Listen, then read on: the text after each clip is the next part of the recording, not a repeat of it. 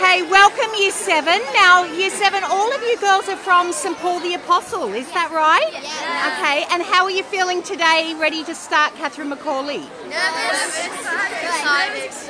What was that? You're feeling Good. good? You're feeling good? How are you feeling over here, girls? Uh, a little nervous and excited. Okay, and what about you? What's your thoughts today? Uh, nervous. Nervous? What are you all nervous about then? Everyone's saying they're nervous. Do you want to tell me what you're feeling a bit nervous about? Um, I'm feeling excited, nervous, a bit nervous about getting lost and new school and everything. But yeah, I'm also very excited. Okay, what about what about you here? You said you're feeling a bit nervous as well. What are you nervous about? I'm a bit nervous about trying to find my way around the school. Okay, so it seems the main thing you're worried about is getting lost. Okay, and today you'll have lots of time to look around the campus, and before you know it, you'll know your way around and you won't be getting lost any anymore. And if you do get lost, just ask, okay? Because everyone will be happy to show you around. All right, well, give me a wave and we'll say goodbye to you all, and we look forward to seeing you around the school more.